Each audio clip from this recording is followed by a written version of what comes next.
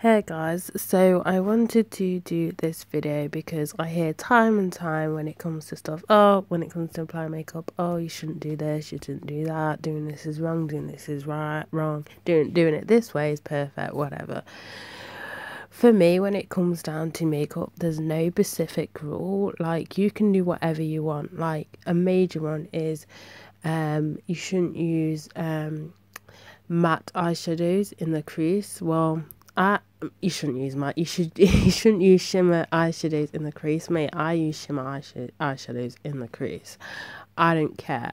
Now obviously if you want a more define def to define the crease then you'd obviously use a matte but there's no specific rule i'll, I'll go in the i'll go in glitter when it comes to crease most of the time. I really don't care just because i do love my glittery eyeshadows.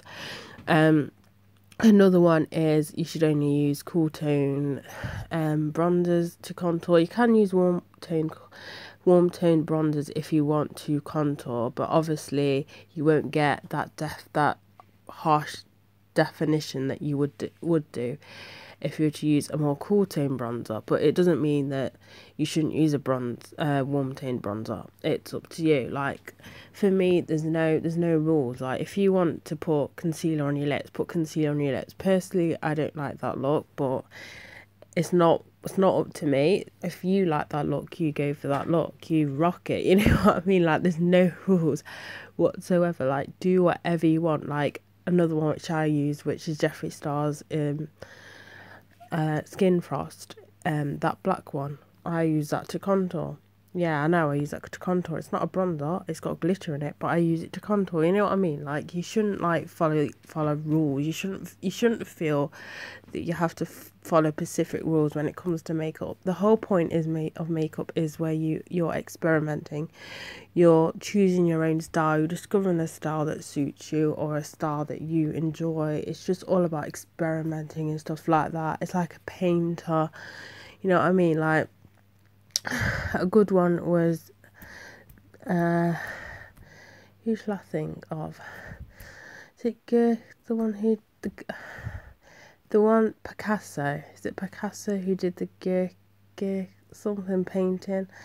And you know what I mean? The whole point is like painters and people with like fashion designers and stuff like that. Not all of them like follow the rules. They do like do things outside the box but you know because it's a creative sort of industry isn't it? Like makeup fashion art all that is creative where you you do you if that makes any sense. I just thought i'd do this video because it really annoys me when people are like oh you shouldn't put you know it's up to you. Do whatever you want. If you want to put glitter eyeshadow in the crease you put glitter eyeshadow in the crease. You know what i mean? Like do whatever you want. If you want to do heavy eye makeup in the daytime, do heavy eye makeup in the daytime. I do heavy makeup uh, uh, makeup eyes in the daytime. I go bold with lips in the daytime. I don't care, but it's just, you know I mean? Like some people feel, especially if you're starting out with makeup, you feel makeup you may feel that you need to follow these rules.